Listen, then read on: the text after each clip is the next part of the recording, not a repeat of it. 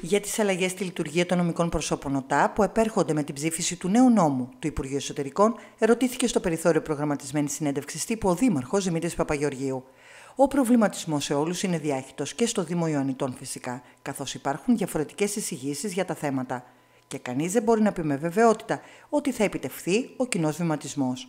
Ο κ. Παπαγεωργίου εξήγησε ότι όποιες αποφάσεις πάρθουν θα πρέπει να είναι σε συνάρτηση με τις επιλογές της επόμενης Δημοτικής Αρχής. Τη Δευτέρα στις 6 το απόγευμα είναι προγραμματισμένη συνεδρία του Δημοτικού Συμβουλίου, όπου σίγουρα θα τεθεί σε πρώτη φάση το θέμα.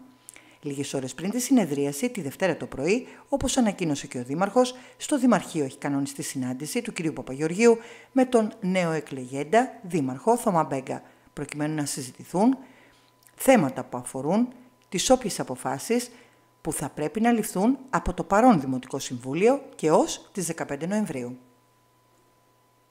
Ε, για αυτό το θέμα το οποίο μας προβληματίζει πάρα πολύ ε, και θεωρούμε ότι είναι και ένα θέμα και της νέας Δημοτικής Αρχής, θα έχω μια συνάντηση την Δευτέρα με τον κύριο Μπέγκα, προκειμένου να δούμε αν μπορούμε να, να υπάρξει μια κοινή, ένας κοινός βηματισμός.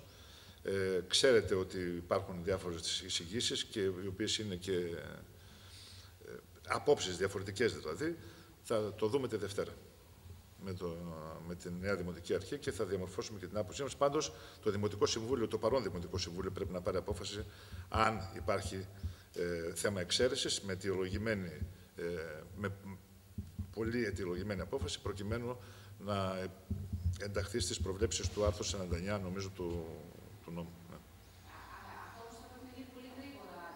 Ναι, ναι. ναι. Εάν, εάν, εάν υπάρξει, εάν υπάρξει, εάν υπάρξει ε, θέμα εξαίρεσης κάποιων ένταξης κάποιων από τα νομικά πρόσωπα του Δήμου μας, αυτό θα γίνει έγκαιρα. Δηλαδή, μπορεί να συνδυάσει το Δημοτικό Συμβούλιο για αυτά τα θέματα ή την 3η Νοεμβρίου ή την 7η Νοεμβρίου, έτσι ώστε να είμαστε μέσα στις προβλέψεις του νόμου.